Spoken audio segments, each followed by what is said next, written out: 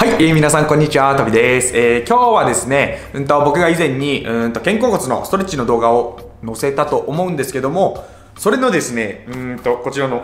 ストレッチポールを使ったバージョンを紹介したいと思います。これも自分毎日使ってますので、うんとこちらのストレッチも参考にしてもらえればと思います。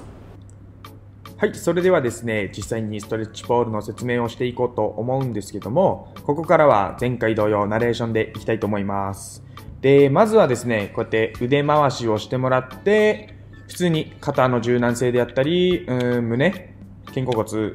の動きを高める運動をしています。なんで、前に、まあ5回から10回ぐらい回してもらって、で、後ろに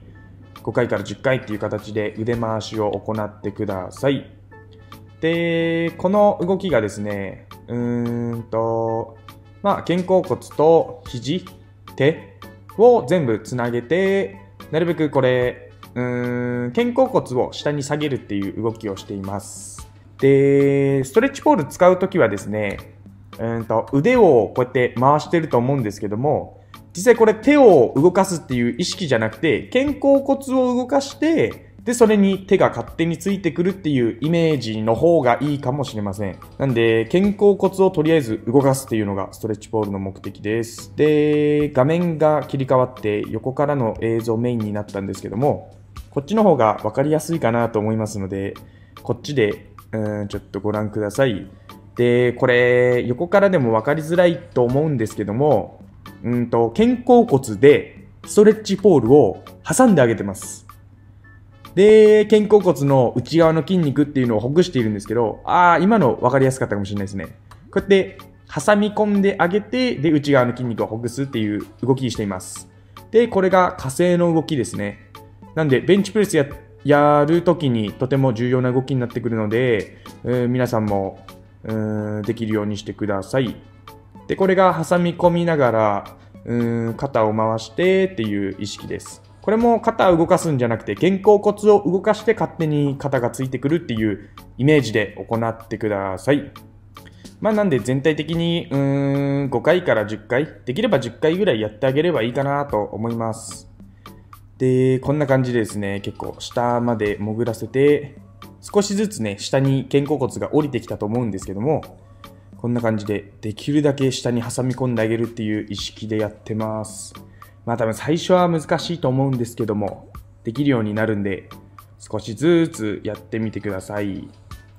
で、この動きとかも基本的には肩甲骨をとりあえず動かすっていうイメージです。で、次にですね、うんと、ストレッチポール横にして、これが、うん、ベンチプレスをする際に大事になってくるブリッジの、うん、柔軟を行ってます。で、なるべく腰じゃなくて、肩甲骨のちょっと下ぐらいに入れてあげるっていうことを意識してください。これどうしても腰にそのままダイレクトに入れてしまう人がいるんですけど、それだと腰痛めてしまう可能性があるので、できるだけ、まあ、上、頭よりの肩甲骨の本当にちょっと下あたりに、その筋肉があるので、そこをほぐすっていうイメージやってもらうのが一番いいかなと思います。こうやって肩甲骨の下で、うん、ストレッチポールを今叩いてるんですけど、そんな感じで、そこをほぐしてあげるっていうのが一番なので、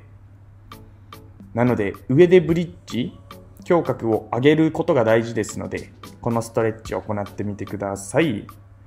で、これがですね、その肩甲骨の下あたりの筋肉をほぐしている時です。で、ストレッチポールの使い方的にも、やっぱり筋肉に当ててほぐすっていうのが、まあ、使い方だと思いますので、そうやってできるだけね、うんと、凝り固まってる筋肉じゃないですけど、やっぱ背中は広いし、いろんな筋肉があるので、そこ一個一個、うん自分の頭の中で意識できるといいかもしれません。で、こんな感じでずっと目をつぶって瞑想しながらやってるんですけど、まあ、ストレッチポールはリラックスしてやるもんですので、えー、皆さん楽にして行ってください。で、これがですね、ちょっと分かりづらいんですけど、うん、肩と、なんだろう、背中の間になんかコリみたいな、あ、こっちだとちょっと分かりやすいかもしれないですね。そう、ここの位置になんかコリがあって、ちょっと痛いんですよ。なんで、そこの筋肉が、まあ、肩甲骨の若干下なのかな下の脇ぐらいなんですけどそこにちょっと疲労が溜まりやすいのでそこをほぐしてあげてますでこれが小胸筋のストレッチですかね自分どうしても小胸筋に疲労がたまりやすくて筋肉痛っていうのがすごいので